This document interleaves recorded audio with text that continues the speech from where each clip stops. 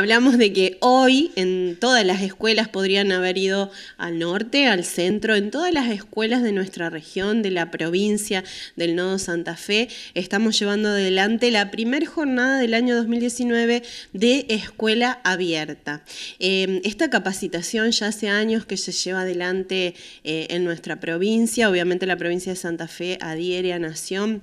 en relación a, esta propuesta para todos los docentes en un principio con capacitaciones que se van dando a lo largo del año, en distintos momentos del año, jornadas preparadas especialmente para la reunión de los docentes, pero en este caso, en particular de esta primera jornada del 2019, estamos trabajando en las aulas con los niños y los jóvenes en esta capacitación de escuela abierta de, de este año 2019, como te decía.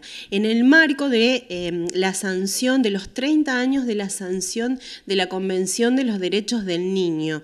y abriendo los espacios y abriéndonos como adultos a la palabra de esos niños, eh, tratando de poder escucharnos entre todos, porque bueno, la temática es escuchar al otro, ¿sí? en, este, en este ida y vuelta que tenemos los seres humanos de, de poder... Eh, hablar, pero también con el derecho de ser escuchados, ¿no? Y bueno, y pensamos que los niños en las escuelas tienen muchas cosas para decirnos a los adultos y en eso, en cada uno de los salones, se está trabajando a través de las eh, propuestas que tiene este dispositivo, eh, que bueno, a través de Escuela Abierta nosotros primero nos capacitamos con los coordinadores de la zona para ver cómo llevamos a las aulas este tipo de actividades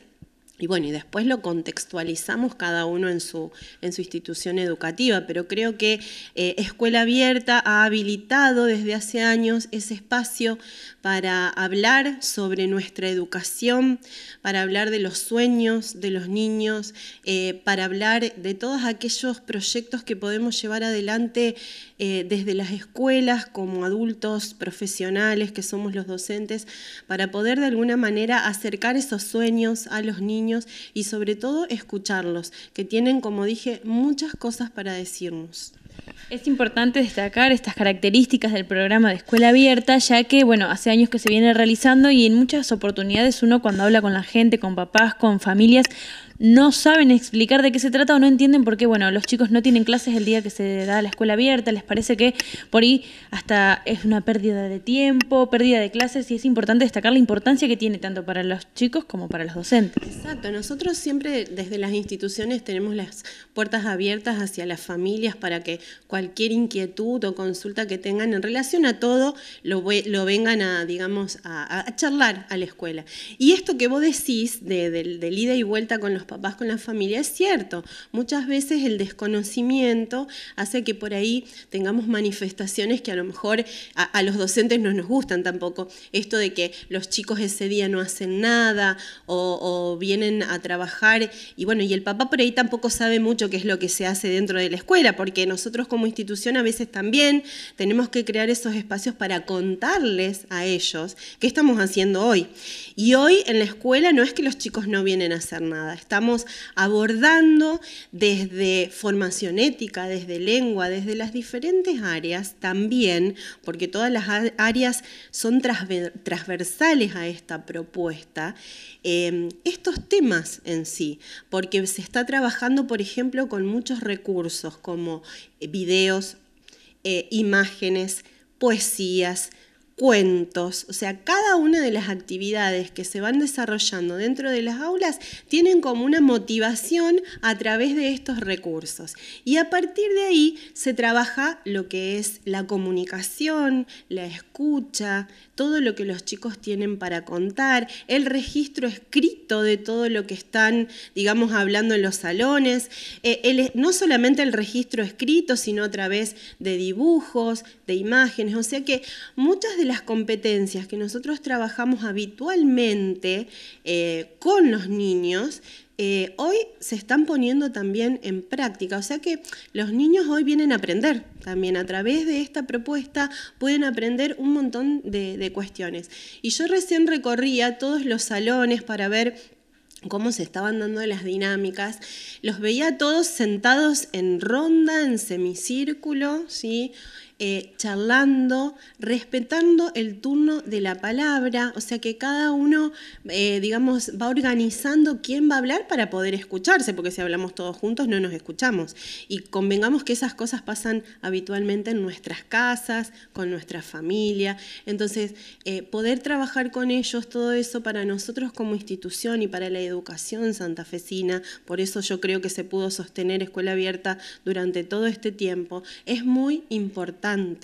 Entonces a, los papás queremos llevarles, eh, digamos, eh, la tranquilidad de que hoy los niños vienen a la escuela, no es que no tienen clases, solamente no tienen clase cuando escuela abierta es solo para docentes la capacitación, pero desde el año pasado y años anteriores hemos trabajado en muchas instancias con ellos en escuela abierta, llevarles la tranquilidad de que hoy están también aprendiendo, a lo mejor a través de otras actividades diferentes a lo cotidiano, pero que em, es para las instituciones, para nosotros como profesionales muy importante este tipo de, jornadas que se organizan a través de Escuela Abierta. Tiene que ver también con un trabajo interdisciplinario al que se apunta y con un cambio de paradigma también en lo que es eh, la educación. Eh, con respecto a años anteriores, muchos años atrás, que se acostumbraba y que el paradigma de, la educación tenía que ver con dar las materias específicas en el trabajo áulico y, hoy en día por ahí se apunta más este trabajo interdisciplinario desde diferentes aristas eh, de la educación. Exacto, yo creo que Escuela Abierta una de las fortalezas más importantes es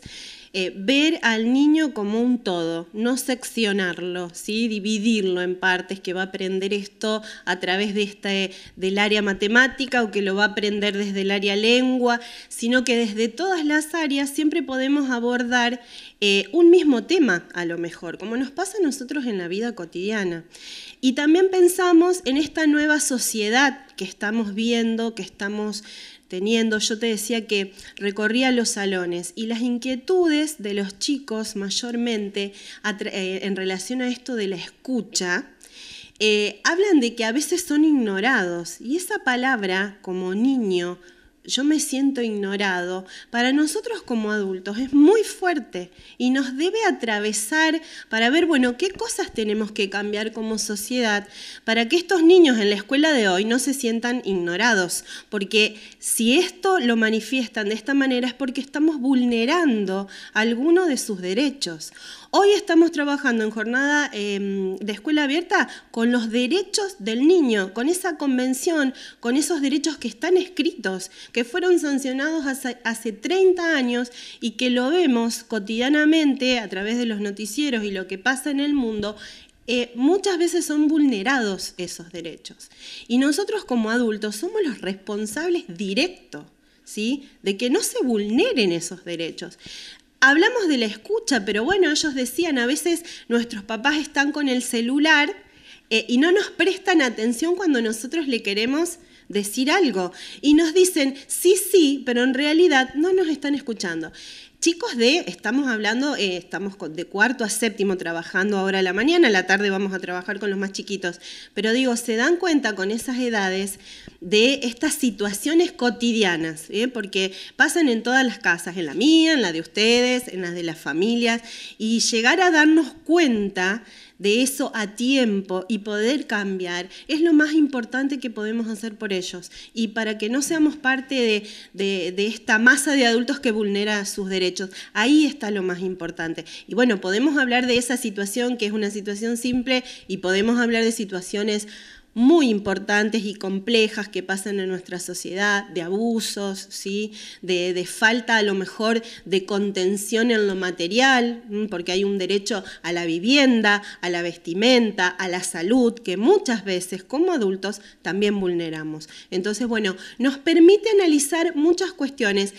con los niños, por los niños y nosotros que somos los docentes, los adultos responsables, ¿no? Se va a continuar trabajando dentro de este programa durante el año. ¿Ya hay alguna otra, ya, hay otra fecha pautada para escuela abierta, ya sea para capacitación docente o para trabajo con los niños? Sí, lo vamos pautando. Digamos, nosotros tenemos como directivos em, de todos los niveles, porque escuela abierta es para desde nivel inicial, primario, secundario. Tenemos reuniones antes de llevar a la práctica con los niños o con los docentes eh, estas instancias del programa Escuela Abierta. Em, en el año, entre tres o cuatro instancias de encuentro tenemos, ¿sí? Eh, obviamente repartidas durante todo lo que es el, ciclo electivo, pero sí, ya lo estamos organizando. Muchísimas gracias, Bárbara. No, a ustedes por, por, venir y sobre todo por poder llevar la información para que todo el mundo, para que toda la comunidad de San Carlos sepa de qué se trata el programa Escuela Abierta.